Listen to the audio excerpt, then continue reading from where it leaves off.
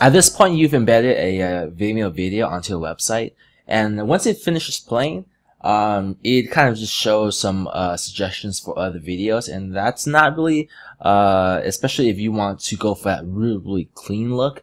Um, ideally, you want to either re uh, wind the video to the beginning, or uh, maybe have some kind of of uh, of outro um, uh, outro slide or something like that. But for the purpose of, uh, of this video, I'm going to show you how to rewind it to uh, the beginning. So basically what you want to do is log into the, after you've embedded the video, log into um, the backend of, uh, of Vimeo and then log in, uh, and then click into the settings for that specific video. Now you don't have to adjust the embed code because the embed code will reflect automatically uh, as you make these changes.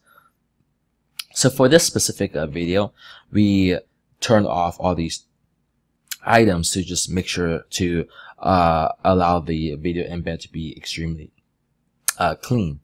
Uh, the section you want to look at is the section that says outro. What happens after someone watches the video?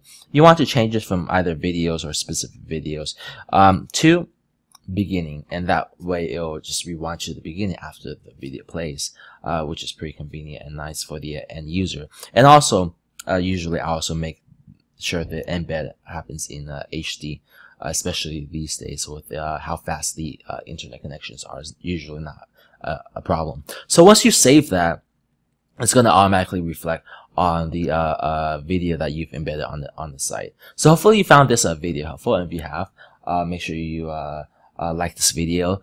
make sure you subscribe to my YouTube channel uh, share this video with your friends. Also check out my uh, my blog yanshenghuang.com. I post a lot of cool stuff on the homepage. Um, and also check out the video section. Um, got tons of videos here uh, that you may find helpful. Anything from uh, productivity tools, Photoshop design, coding, and so forth. Uh, make sure you also uh, follow me on, on Facebook, Twitter, uh, Google Plus, Instagram. Um, feel free to subscribe to my mailing list. All these help me build up uh, uh, an audience, which uh, in turn attracts more people. Um, so I can uh, share more of this uh, free information uh, with you guys.